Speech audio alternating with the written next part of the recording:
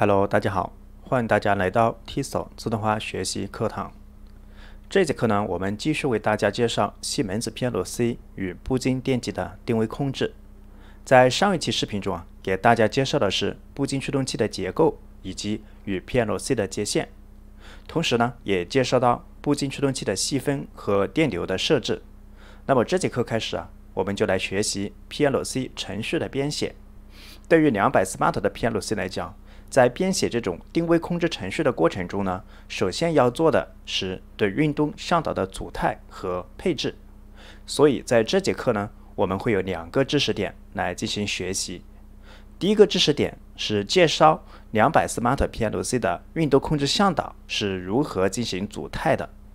第二个知识点是组态完了之后，如何用运动调试面板来进行调试。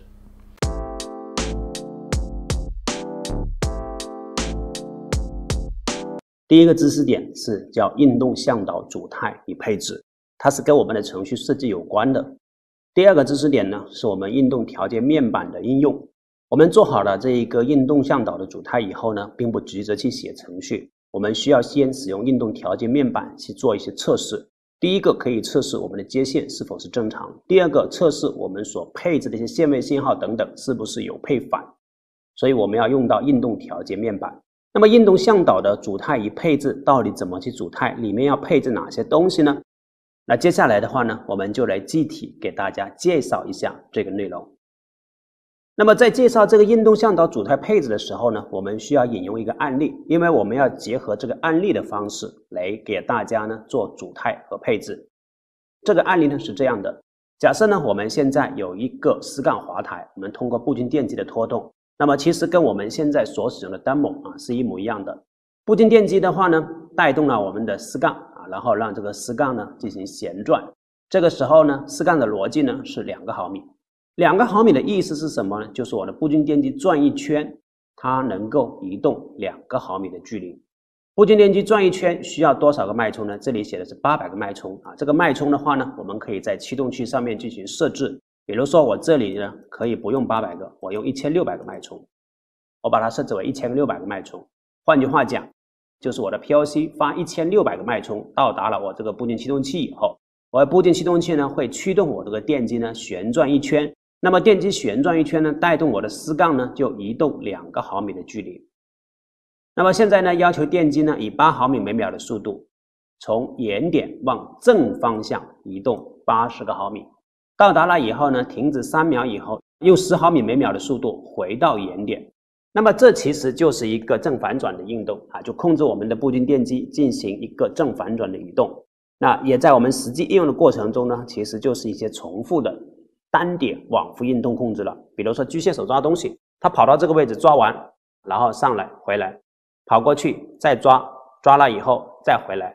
那么这个抓东西的动作，相当于我们这里就是以三秒内去完成一样啊。我们做一个原始，把这个动作呢给去掉了。那么这个时候，我们如果按下停止按钮的话呢，停止运行；再一次按下启动按钮的话呢，以停止前的方式进行运行。下面呢有一个模型图啊，当然这个模型图的话呢，它有三个感应信号点，上限位、下限位，然后呢加上原点信号。那么至于这个地址是多少，我们要看实际接的。并不一定就是 i 零点二、i 零点三、i 零点四。假设我现在接入到我们的 PLC 上面这几个点被别的地方占用了，可能我接的就是另外的点，这个没有关系，我们要以实际的为准。然后我们的从原点到 A 点的位置，这个距离呢刚好就是八十毫米。注意，现在来讲的话呢，意味着就是告诉大家，往电机移动的方向称之为正方向啊。假设等一下我们配的时候就要去注意了，往电机的方向是正方向，到八十毫米。因为我们原点在这里，A 点是我们要移动的位置，它是八十个毫米，它没有写负八十个毫米，它写的是八十个毫米，意味着这边就是正方向。如果它向负方向移动八十个毫米，那就可以说是负的八十毫米，那么就在左边。那么我们基于这样的一个例子的背景，我们来进行一个组态和后续的程序的编写。那么怎么去组态呢？我们在打开编程软件以后呢，在它的工具菜单里面，它会有一个向导。我们可以选择运动的选项啊，然后呢，组态一个运动控制的向导。组态完运动控制向导以后呢，会生成对应的程序。最后我们可以调用这些程序来进行程序的编写。当然，这些程序呢是子程序，我们也可以认为它是一相应的一些指令。那么对于这个运动向导怎么来用呢？那么接下来我们通过软件件的演示来给大家进行介绍。好，我们来看一下怎么来进行组态。首先呢，我们需要选择我们对应的 CPU，跟我们的实际的 CPU 呢进行连接起来。比如说，我把这个 CPU 连接起来。那并不是说没有连接 CPU 就不能够组态啊，同样是可以组态的。那我们先把这个 CPU 连起来，这一点我需要强调啊，并不是说没有连 PLC 就不能够去配置运动向导了，也可以。那我们选择工具的菜单，然后选择运动。选择运动的话呢，我们可以选择轴零。注意，轴零和轴一就是我刚刚在第一课时给大家讲到的。如果我们选择轴零，那我们的接线呢就固定了，脉冲是 Q 零点零，方向是 Q 零点二。如果选择轴一呢，那么就是 Q 零点一的脉冲，Q 零点七的方向。如果你一个 PLC 它需要带两个步进电机，那我们两个轴都要进行应用起来。那对于两百 Smart 的 PLC，ST 二零的 PLC 最多能带两个轴，但是对于 ST 三零、ST 四零，它就不止两个轴了。然后我们可以选择下一步，你可以给这个轴呢进行命名。那我把它命名为演示轴，就是我们做这个实操演示的轴。然后下一步，在这个位置呢，我们需要选择测量系统。测量系统呢，有工程单位和相对脉冲进行选择。那么这个到底怎么去选呢？按照我们的视力要求，在这里，它的移动的距离是毫米为单位，速度是以多少毫米为单位。它并不是以多少脉冲个数为距离，以多少的频率为速度，所以这种来讲，我们所选择的时候要选择的是工程单位。如果你选择相对脉冲，那就没有别的设置了，我们要选择工程单位。工程单位指定了以后呢，我们就要指定下面这些参数。首先，电机转一圈需要多少个脉冲？那么假设一千六百个脉冲，这一个是跟我的实际的电机转一圈需要多少个脉冲来匹配的。也就是说，跟我们的步进驱动器上面设置的电机转一圈需要多少个脉冲进行匹配？那测量系统的单位呢是毫米，转一圈所移动的距离呢是两个毫米。注意这个地方。那如果我们有减速比的情况下，也是一样的。注意，你要电机转一圈，它实际移动的距离是多少？你要把它算出来。假设我现在来讲设定的是减速比为二比一。二比一的意思就是我电机转两圈，实际的机械结构只移动一圈，那么两千就相当于是三千二百个脉冲，让这一个滑台带动丝杠移动两个毫米。如果你电机转一圈所需要的脉冲还是设定为一千六百个脉冲，那么你电机转一圈旋转移动的距离就变成了一个毫米。所以你要把这个换算进去。然后下一步，这个时候呢，我们需要配置我们的 PLC 的脉冲输出类型，它有四种类型。单向两输出就是脉冲加方向，双向就是两个脉冲输出，A、B 正交也是两个脉冲和这一个脉冲输出，单向脉冲输出。那我们通常来讲，控制步进电机选择是脉冲加方向的方式来做的。那么脉冲加方向选择完了以后呢，还有一个极性的选择。所谓的极性呢，就是指这个方向信号，方向信号呢就正或者负，那么代表的就是只有一或者零两种状态。一的时候表示正，还是零的时候表示正？就是一的时候是正方向运行，还是设置为零的时候是正方向运行？那么取决于你的极性。如果极性是选择正极性的，那么意味着当你为一的时候，那么就方向信号输出为一的时候就是正方向运行；方向信号为零的时候，输出就是负方向运行。那我可以选择正向先试，然后下一步。那么这一个。有什么关系呢？选错了有什么关系呢？选错了有关系，就是我们的电机的旋转方向可能变了。本来往电机的方向为正方向，可能你选反了，它就变成了往电机的方向为负方向。所以这个后续我们在用运动调节面板调试的时候可以进行调整。然后接下来呢，我们要配置一些线位，只要是直线运动，那我们都需要配置线位。那么大家可以看到我们的四杠滑台上面，它现在呢有这两个线位。就是我们这一个 demo 上面，它有两个线位，这两个线位来讲的话呢，在于左右两边就是正线位和负线位，中间这个是原点。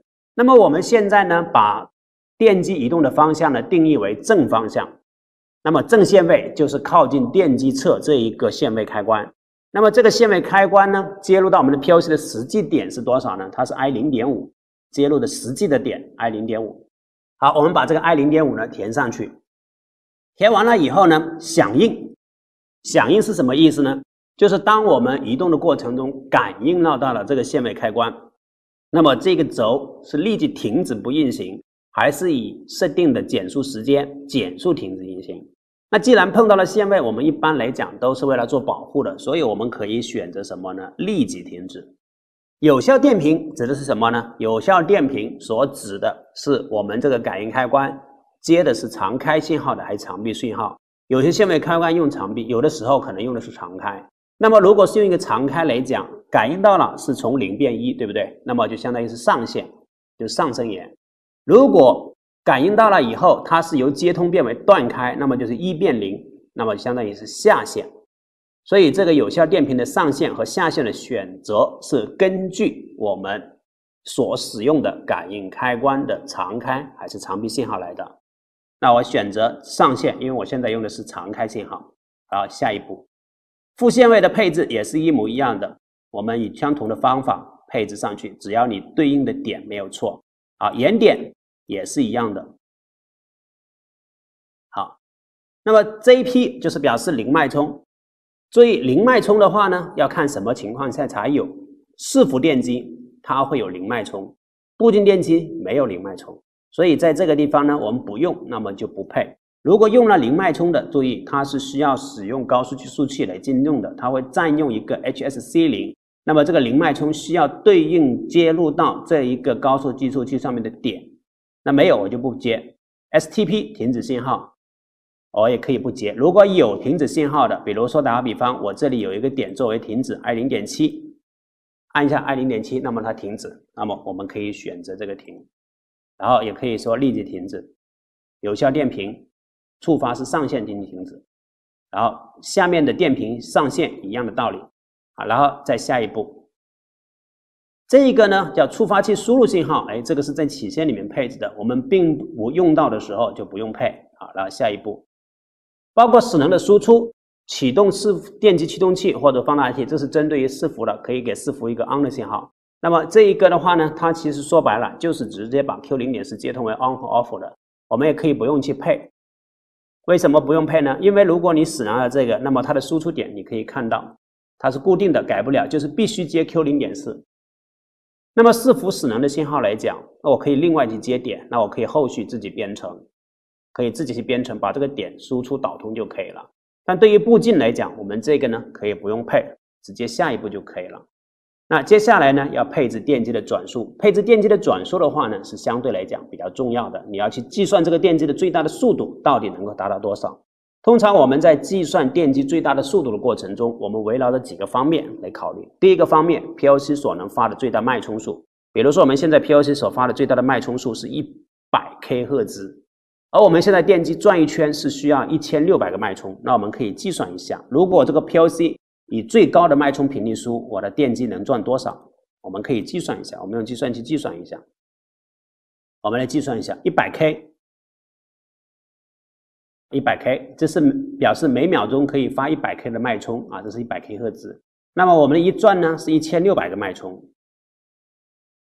六十二点五转，每秒钟转六十二点五转，然后呢乘以六十，换成成分钟，每分钟三千七百五十转，每分钟三千七百五十转，对于步进电机来讲，这不太现实，所以我们这一个。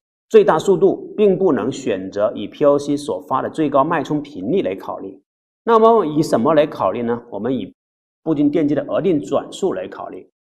伺服电机可能额定转速三千转，那我们步进电机的额定转速呢？假设它是在六百到一千转，六百到一千转就不得了了，可能大概就八百转左右或者七百转左右。假设我们现在八百转每分钟，然后除以六十。每秒在十三转左右，那么好算一点，比如说我们每秒钟在十五转，那每秒钟十五转乘以六十，就是九百转每分钟啊，差不多。那每秒十五转呢，我们可以算一下，每秒十五转一转两个毫米，那么就三十个毫米每秒。所以我们最大的速度呢，可以设置为三十个毫米每秒。然后我们再看电机的启停速度。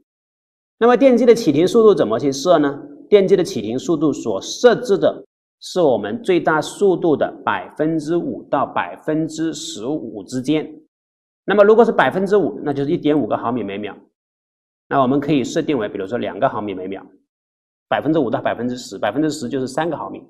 那我们设定为两个毫米每秒的启停速度。好，然后下一步，这个是点动速度。如果我们有点动的话呢，我们可以设定一个点动速度，比如说四个毫米每秒的点动。点动的时间小于零点五毫秒的时候，让它指定移动的距离一个毫米。如果你需要用到的时候，我们就设；不需要，我们直接下一步。电机的加减速时间指的是从我们电机的启停速度加到最大速度的时间，加到最大速度不是加到运行速度的时间，这一点大家要注意。那么默认情况下是一秒啊，我们可以改一下。如果觉得这个加减速时间过长的情况下，我们后续可以再调短五百。因为有时我们用的加减速时间过长，可能在停的时候容易出现过冲，所以我们这个要考虑一下。那我们可以先五百毫秒先做，急停时间啊，这个我们就不管，因为它是对于单步的运动曲线来说的。反冲补偿是指机械的磨损，当我们的机械磨损了以后，可能在正向运行到反向的过程中，它有一个间隙。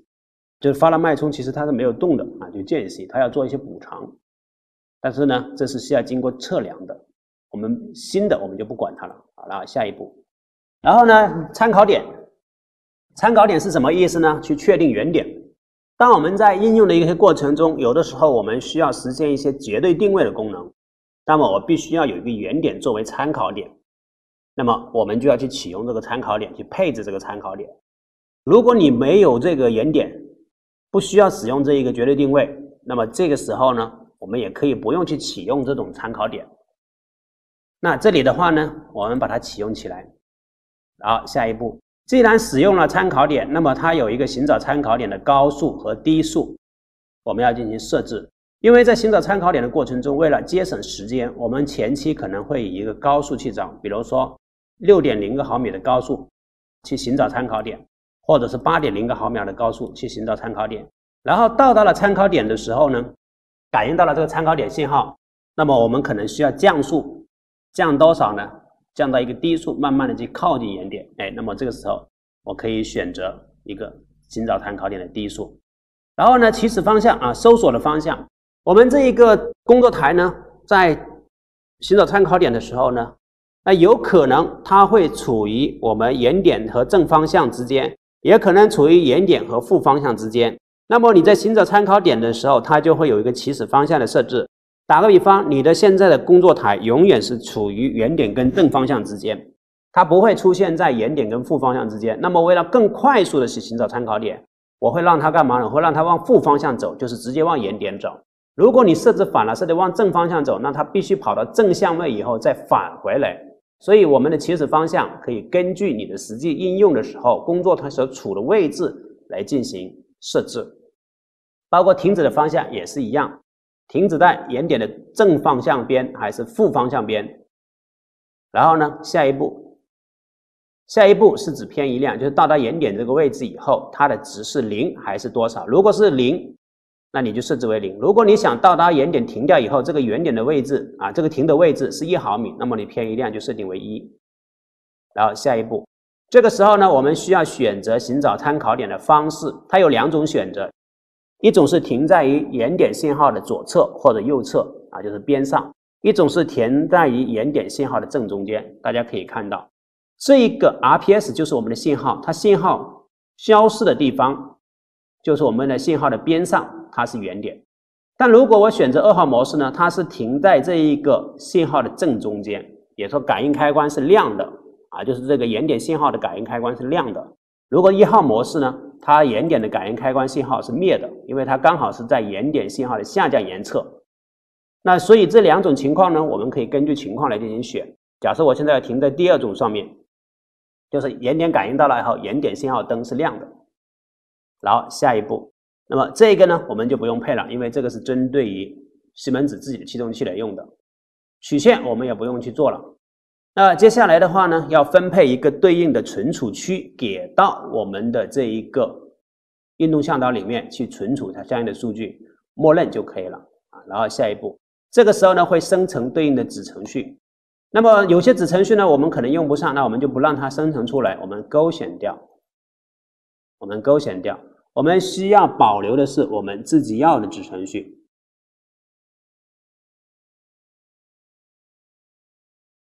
假设我现在就要这几个子程序，我现在只要让它能够运行，我们选两个子程序出来。其他的子程序呢，上面有，比如说手动模式，手动模式如果需要手动的时候，我们可以勾选这个子程序出来；如果不需要，我们也可以勾选掉。然后呢，使用绝对定位、相对定位要用的子程序，使用回原点的子程序。那么在这个例子中，我们需要用哪些，我们就勾；如果不需要的，我们可以不勾选出来。如果你确实不知道的话，你也可以让它全部勾选出来，以后在用的时候不调用它就可以了。好，然后下一步，下一个生成，OK。这样的话呢，我们就把主态主态好了。组态完了以后呢，我们需要把这个程序呢下到 POC 里面去，对它呢做一个调试。那么怎么调试呢？把程序下载到 POC，然后把 POC 切换到 Stop 模式下，注意一定是停止模式。点击工具。打开我们的运动控制面板，然后呢来做一个操作的演示。那么这个时候呢，我们可以配合我们实际的 demo 上面的四杠滑台来看。我们打开这个运动控制面板以后呢，我们可以选择先用点动的方式来确定一下它的移动。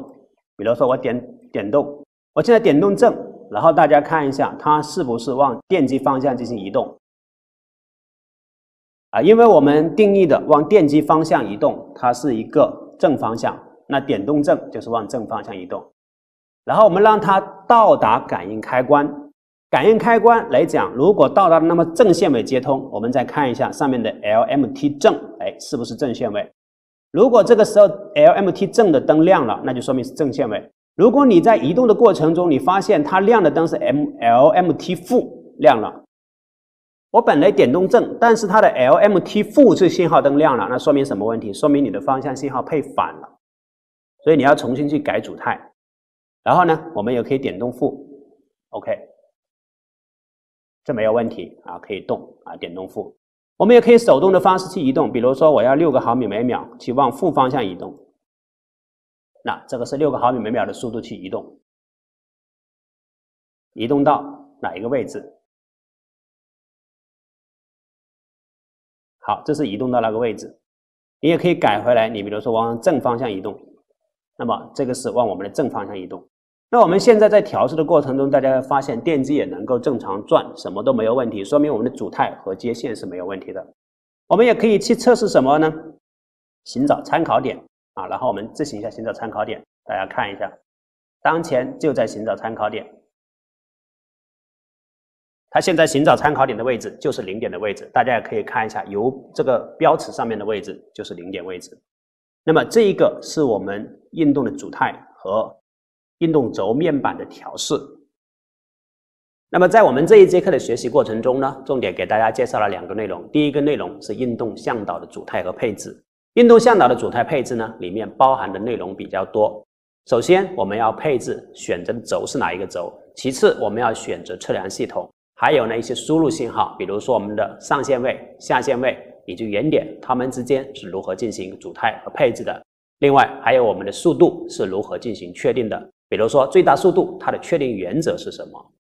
最后的话呢，我们还给大家介绍了我们在配置的过程中需要配置回原点，如果回原点的时候，它又会涉及到回原点的高速和低速，特别是在配置回原点的方向的选择的时候，应该怎么去选择？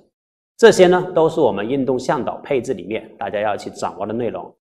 那么，当我们的运动向导配置完了以后呢，我们是可以使用运动调节面板去做一些测试的。它可以测试我们的接线是不是正常，可以测试我们所配置的线位信号是不是正确啊。所以这两个内容都是我们这节课呢所学习的一个重点，大家一定要去掌握的。好，那么这节课呢，我们就先学习到这里。下一节课呢，为大家介绍一下我们的程序如何进行编写。